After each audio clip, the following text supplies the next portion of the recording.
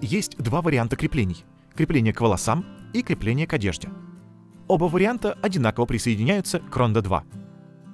Снимите крышку аудиопроцессора. Вставьте крепежное ушко свободного конца крепления в соответствующую канавку в нижней части процессора. Верните на место крышку, тем самым фиксируя ушко.